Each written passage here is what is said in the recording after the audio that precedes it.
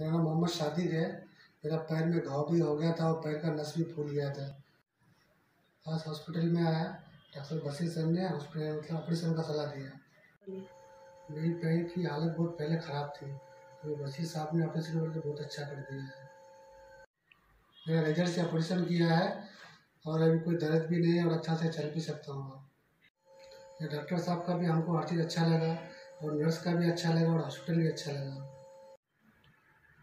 जैसा कुछ भी अगर तकलीफ़ हो तो हॉस्पिटल पर दिखाना एक बार मुलाकात कीजिए।